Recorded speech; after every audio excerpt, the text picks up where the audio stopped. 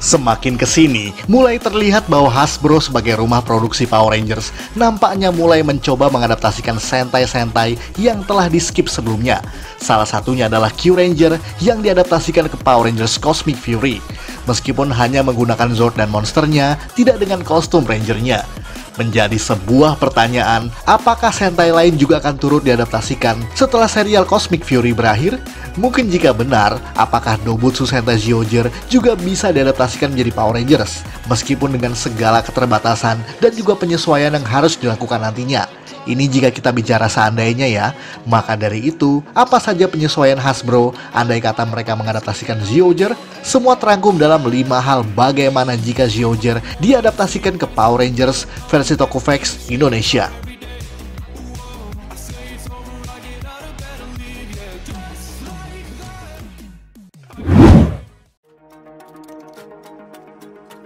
menghilangkan unsur human. Seperti yang kita ketahui bahwa dalam serial Zyuohger, tim utamanya diisi oleh empat orang Zyuman dan juga satu manusia, di mana Zyuman tersebut juga bisa memiliki wujud manusia untuk beradaptasi dengan masyarakat sekitarnya. Dan jika diadaptasikan, yang mungkin paling utama adalah mengesampingkan tema Zyuman atau manusia hewan tersebut. Karena bagaimanapun, perbedaan budaya antara Jepang dan Amerika adalah hal kontras yang mendasarinya Terlebih anak-anak di dunia barat lebih menyukai unsur alien, fiksi ilmiah, dan juga luar angkasa. Mungkin hal yang bisa dimasukkan dalam hal ini adalah menetapkan lima case utama sebagai manusia biasa yang terpilih oleh kekuatan misterius sehingga mereka bisa memiliki kemampuan seperti hewan-hewan tertentu. Dan yang pastinya semuanya dikemas dengan pendekatan yang lebih ilmiah seperti Beast Morphers atau juga Dino Fury misalnya. Jika bicara seandainya, mungkin plot utamanya bisa berupa kelompok mahasiswa antropologi yang melakukan proyek menggalian reruntuhan peradaban kuno yang hilang dan tidak sengaja menemukan semacam kubus berkekuatan mistis yang juga tidak sengaja membuat mereka punya kekuatan sebagai ranger. Di samping itu, mungkin tambahan plot klise seperti alien yang terbangkit kembali akibat reaksi dari kekuatan reruntuhan kubus tersebut, di mana mereka juga menginginkan kekuatan yang sama yang dimiliki oleh para Rangers, persis seperti perebutan kekuatan yang ada di Dino Charge dan juga Ninja Steel. Dan kostum Human pada versi Jepangnya mungkin bisa digunakan sebagai Legendary Ranger atau Beastmaster dari masa lalu.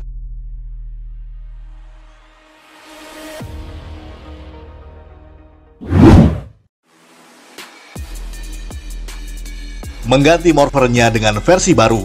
Ya, jika diadaptasikan di tahun ke depan nantinya, morfer untuk versi Amerika ini haruslah berbeda dengan sebelumnya. Karena di versi Zyuohger, mereka menggunakan Oja no Shikaku yang berubah menjadi Zio Changer. Dan perlu diperhatikan bahwa Henshin item ini berbentuk ponsel flip, yang tentu saja sudah ketinggalan zaman pada tahun 2016 dulu. Hal itu pastinya juga tidak akan berhasil jika diterapkan di masa depan. Makanya, perlu ada penyesuaian yang harus dilakukan oleh Hasbro untuk menggarapnya. Anggap saja mereka harus mengubah desain ponsel analog tersebut menjadi semacam smartphone lipat dengan basis desain yang tetap diambil dari Zio Changer. Walaupun mungkin secara fungsi akan tetap sama saja dengan versi Jepangnya. Karena bagaimanapun, pangsa pasar merchandise-nya adalah anak-anak yang saat ini hidup dengan kecanggihan teknologi smartphone. Maka dari itu, ponsel analog dengan keypad mungkin harus segera ditinggalkan karena sudah tidak relevan dengan selera pasar saat ini. Dan yang paling ribet dari semua itu adalah membuat ulang semua adegan yang menampilkan layar Zio Changer menjadi versi original Amerika. Misalnya saat mereka menggunakan morpher itu di tengah pertempuran ataupun di dalam Zord. Atau mungkin menambahkan fungsi scanning untuk Zord kubusnya. Semua bisa saja terjadi walaupun ribet kedengarannya. Namun melihat hasil kerja Hasbro yang giat melakukan pembuatan footage original, nampaknya itu bukan hal sulit bagi mereka.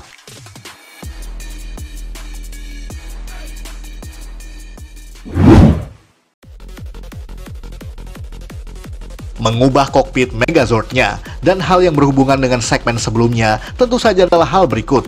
Kita tahu bahwa kebanyakan Power Rangers di era 2010-an ke atas lebih suka menggunakan kokpit original buatan mereka sendiri karena lebih mudah untuk melakukan penyesuaian plot dan juga dialog sesuka hati mereka. Walaupun harus kita akui bahwa kokpit King atau Mecha di Zyuohger memang cukup keren, simple, dan tidak terlalu Jepang.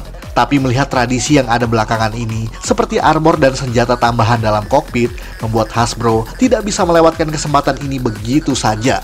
Barangkali nantinya akan ada shoot dari kokpit original Amerika dengan armor khusus plus senjata finisher yang selalu menjadi ciri khas untuk menambahkan varian merchandise. Apalagi kita semua tahu bahwa Zioger memiliki desain kostum yang simple dan ala kadarnya yang masih bisa dimodifikasi menggunakan armor layaknya Power Ranger Samurai, Dino Charge, Ninja Steel, dan masih banyak lagi.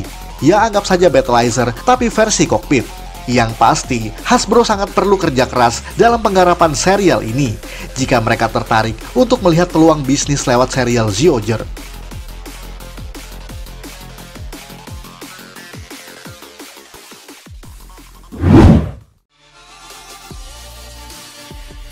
Menambahkan senjata individual dalam versi Jepangnya, seluruh rangernya menggunakan senjata yang sama, kecuali untuk Zio Eagle dengan pedang individualnya sendiri. Hal ini tentu saja membuat Sioger memiliki varian merchandise yang sangat terbatas. Apalagi mereka tidak memiliki collectible item kecuali untuk Zio Cube-nya sendiri. Akan tetapi melihat bagaimana Hasbro dengan giatnya menambahkan senjata baru pada serial Beast Morphers, nampaknya hal itu juga bisa diterapkan kalau mereka ingin menggarap Zioger. Misalnya menambahkan senjata original buatan Amerika untuk masing-masing rangernya. Hal itu bisa berupa kapak, cakar, blaster, atau apa pun lah bentuknya yang disesuaikan dengan motif hewan pada rangernya masing-masing. Dan mungkin bisa disatukan menjadi semacam bazooka untuk serangan finisher. Walaupun untuk mode Yasai Kaio yang ada dalam versi Jepang tersebut boleh juga dipakai untuk jurus individual tertentu. Namun bagaimanapun juga, menambahkan senjata individual bisa membuat serialnya menjadi semakin menarik. Ataupun sekali lagi, bisa menambahkan varian merchandise yang dapat dijual ke pasaran. Atau yang paling gampang adalah membuat shoot adegan yang menampilkan para Rangers menggunakan cube weapon seperti cube Mogura, cube Kirin, dan lain semacamnya untuk digunakan sebagai senjata alternatif dalam pertarungan ukuran manusia.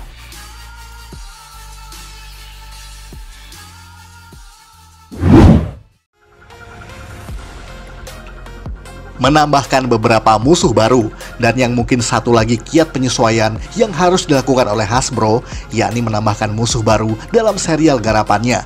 Ya, kita tahu memang Zioger punya beberapa karakter musuh yang cukup layak jika diadaptasikan ke versi Amerika dan bisa dengan mudah digunakan footage-nya ataupun kostumnya dalam proyek garapannya tersebut. Akan tetapi, agar semuanya semakin menarik, nampaknya harus ada penambahan musuh baru, baik itu berwujud human form seperti Blaze dan Roxy atau yang lain misalnya, di mana bisa menunjang plot menjadi jauh lebih menarik. Karena kita tahu, motivasi kejahatan Dead Galleon yang ada di Zioger tidak lebih adalah sebuah permainan untuk kesenangan leadernya semata. Maka dari itu, harus ada plotline baru yang membedakannya dengan versi Jepangnya. Ya paling tidak, alasan kejahatannya harus lebih umum atau lebih masuk akal bagi audiens Power Rangers. Apalagi kurangnya pengembangan karakter bagi musuh-musuhnya sehingga terasa lebih datar dan lebih difokuskan bagi karakter Bang Ray yang justru tidak berada dalam tim Dead Galleon. Tapi, tentu semuanya harus ada stock footage versi original Power Rangers, seperti set studio markas musuh yang baru misalnya. Hal itu akan lebih memudahkan mereka membuat plot yang sesuai dengan kemauan rumah produksi garapannya. Dan jika bicara soal menambahkan musuh baru, mungkin mereka bisa menggunakan karakter musuh dari Tokyoger atau sentai-sentai lainnya, yang berpotensi akan menunjang plotnya menjadi semakin jauh lebih menarik.